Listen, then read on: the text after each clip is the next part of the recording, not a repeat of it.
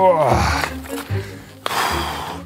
I've decided to embrace self-supported riding for the first time and take on some of the most rugged terrain a gravel bike can handle.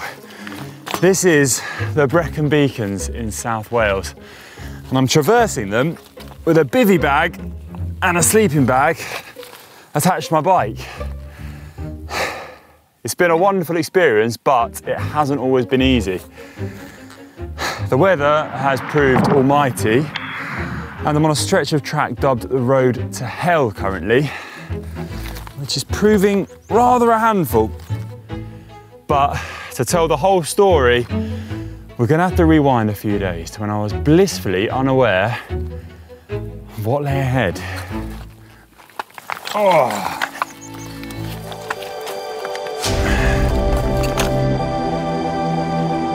The main elephant in the room with this whole trip is my total lack of experience camping. I've never actually done it before. But never mind, I bought a sleeping bag, blow up mattress and a bivy bag, oh, and a gas stove. No idea what to do with any of them, but that's what this trip is really all about. I want to show you that you can give these sort of adventures a go, even if you are a total newbie like me. Oh my god, this bike weighs a ton. Got kit ever. I don't actually know where I've packed my kit. Just been rushing and getting everything in, and I'm hoping for the best. First steps into the wilds, leaving the city of Bath. Just need to get on the bike. and we're off. Adrenaline rush to start things off. I've got that fresh feeling. I'm going on an adventure. And I'm going bike packing all by myself. I've been yearning to do it for so long. And this time I've just gone, yes, I'm out, I'm doing it. And this is it the first off-road section. So my chosen route has been planned on Komoot. I've selected a multi-day kind of trip, multi-day event, and um, that's kind of all I've done really. I've just put start and finish in. I've put a few points of interest on the way, and then I've gone for it. I've selected mountain biking because I want to go a little bit off-road. Um, I'm on my gravel bike, and I want to get a sense of this landscape, this country in a way that I haven't done before. First, I need to make it close to Abergavenny and set up camp for the night. About 70 kilometres to go. This road is to be slow going, so better crack on. First make it out of, out of England and into Wales across the Severn Bridge.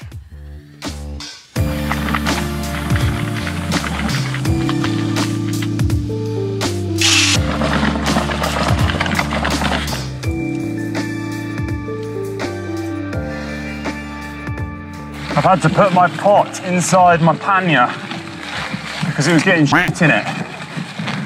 I don't want that in my coffee in the morning.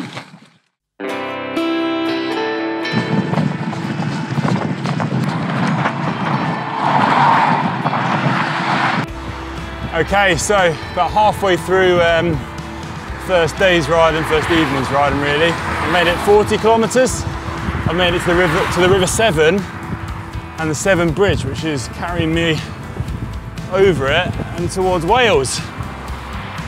Things are gonna get much tougher from here, I feel. Enjoying it while it lasts.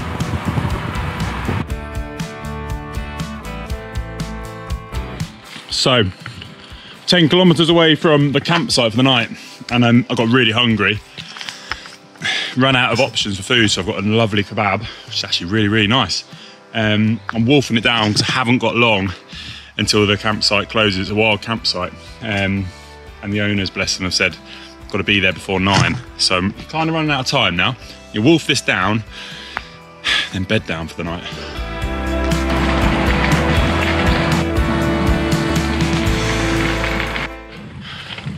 The steepest hill to finish off the day genuinely having to walk up this one.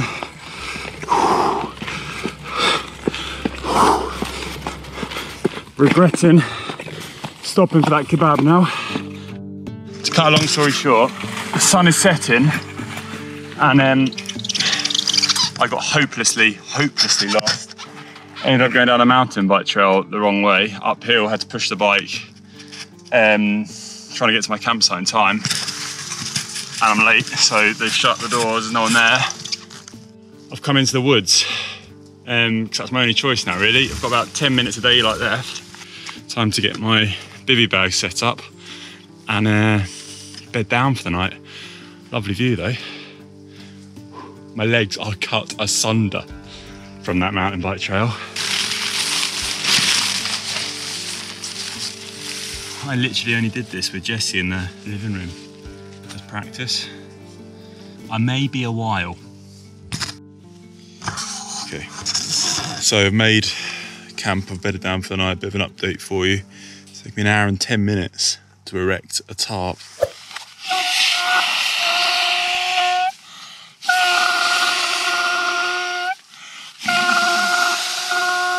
and I've accidentally spilt my pot noodle. I accidentally spilt my pot noodle all down my bag, so it's everywhere. It's like my my um, God knows why I decided to put pot noodle in my essentials bag, but it's gone all over everything. One more thing, I wish my sleeping bag was a bit bigger.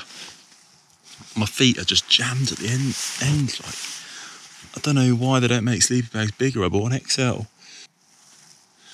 Right, night night.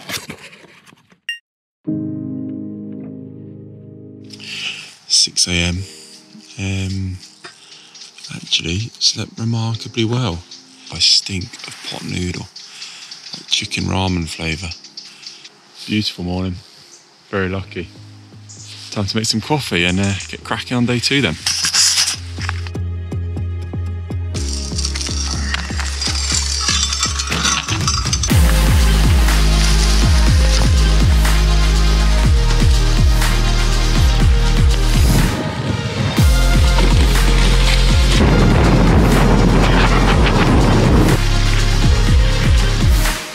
things are taking a bit of a turn.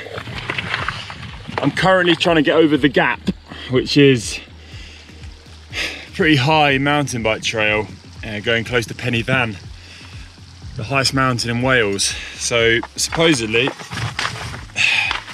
path I'm on now will cut across that. I see Pen y Fan on the left and Fan y Big on the right. Fan y Big recently been demoted to a hill rather than a mountain. So Fan y Big, is Fanny small. Um, either way, it's quite a big challenge for me.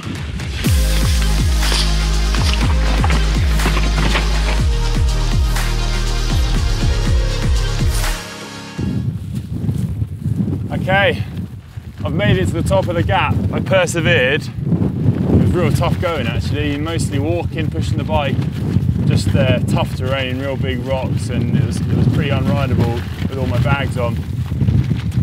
Made it to the top though, which is a brilliant feeling. Goodbye, Fan y Big. Oh my goodness gracious.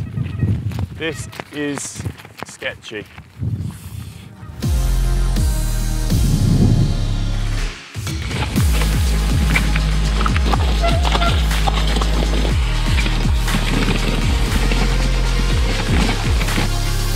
I made it back to a road. Oh my gosh. I was up there for nearly two hours. Oh, right, time to descend down properly on some road and get some lunch.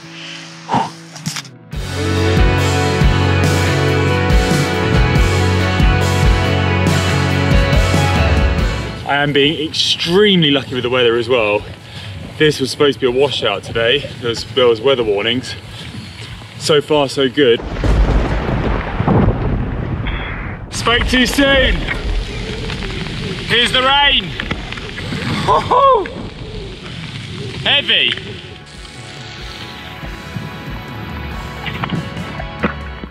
Oh, campsite for the day.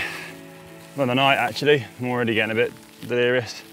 Day two's ride took me six and a half hours to complete, moving time that is, and I only covered 78 kilometres, which just shows how tough the terrain has been and how slow I've been going at times walking my loaded bike.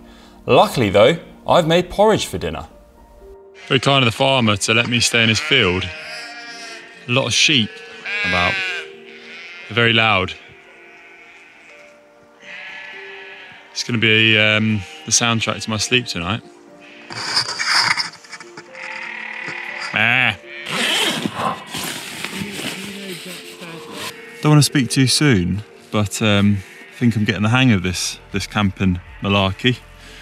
Helped tonight that I gave myself a bit more time to get ready and set up set up base. Um, I could kind of sit and enjoy it for a little bit before the sun went down. Whereas last night I was rushing around in a bit of a flap. Blue skies, well, dark blue skies. It was night, um, and no wind. So hopefully that remains for the rest of the night. Have a good kip. I don't know if it's supposed to be this easy. Right. Time to go to sleep. Like a cat with nine lives, I awake to a dry morning on day three, once again avoiding a soggy night's sleep. However, the powers that be here at GCN thought it was probably a good idea to send someone to check up on me. That job fell to cameraman Nick, who quite luckily loves chicken ramen noodles. Oh, do you smell the chicken ramen? Strong, isn't it? Oh, it was cold last night. I was busting to go to the toilet in the middle of the night and I literally had my bivy bag done up full, my sleeping bag done up full, and I couldn't get out in time. I was starting to panic, holding on to needing to go to the toilet, and I only just about made it. So that that's good. Otherwise, it would have been a bit of a disaster. But it is time to get going, pack up camp for the last time, and head towards Swansea for the day that I've been looking forward to the most. Actually, this one's going to be good. Oh, first coffee.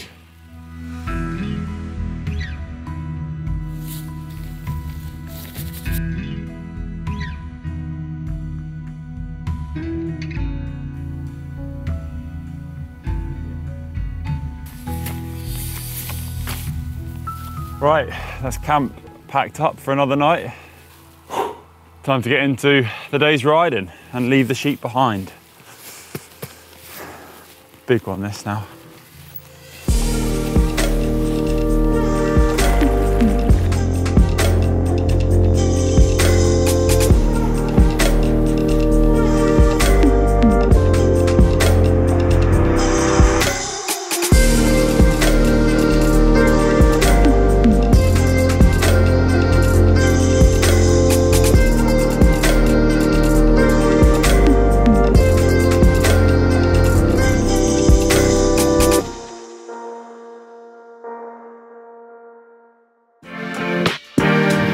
Okay, day two is well underway. We're about 30 kilometers in. However, hit a slight kind of mishap in the fact that I've made a few wrong turns. I was actually heading towards a live firing range, which isn't the best look really. Um, and I'd have been hard to miss on that, that range too. So had to turn back, do quite a big detour. When we get back off off-road, we'll be joining Sarn Helen that ancient Roman road and the road to hell.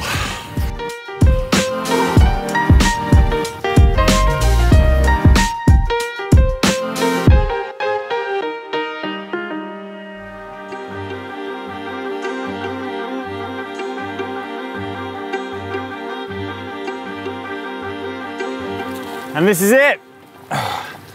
Sarn Helen, the ancient Roman road which divides Wales from north to south.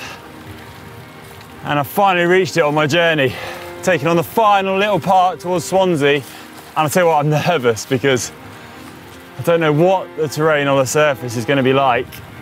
And we've made slow progress this morning already. So I'm hoping for not too much hike-a-bike, otherwise it's going to be a late arrival in Swansea, but this is really where the route comes alive. This is the bit I have been looking forward to on this whole trip and I can't wait to get into it properly. Oh, the legs are still feeling it a little bit. That must be said. Wow! We have a climb on our hands.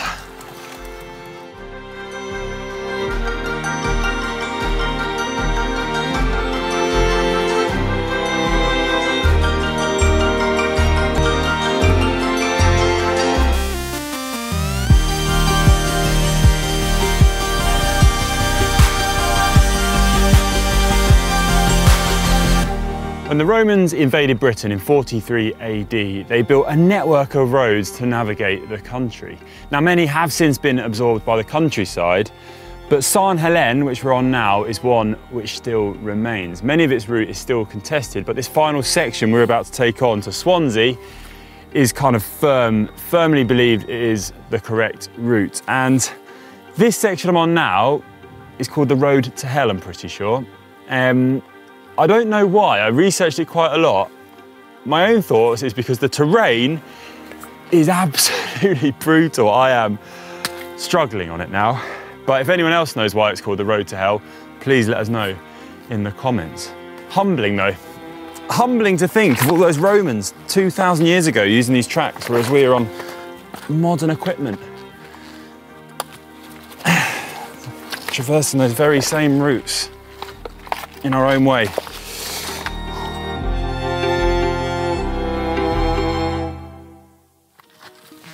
I'm gonna have massive back muscles after this. Massive. I'll be on. I'll tell you what. I'll be on the cover of um, some men's health, men's magazines. Did you hear that, Stacey? More sheep. Have you noticed my biceps? They have been growing.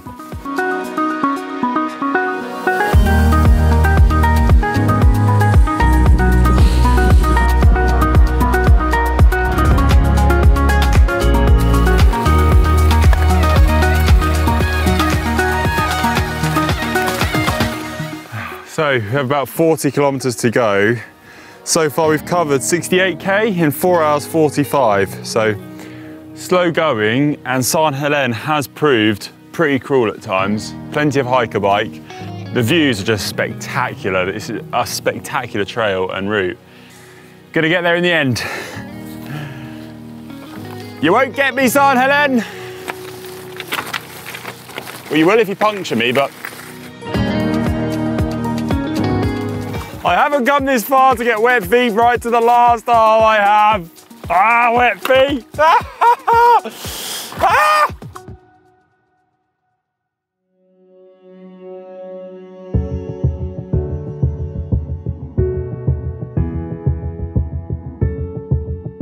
So, San then has opened up a bit, got a bit smoother, and we're on perfect gravel for the bikes we're on, which is just a boost to the spirits because we were really getting absolutely just shattered on that rough section back there. So feels so nice to be able to push on the pedals again, up the speed and eat into the kilometres because Swansea beckons and the finish is getting so close now. Woo! Come on! We've nearly made it.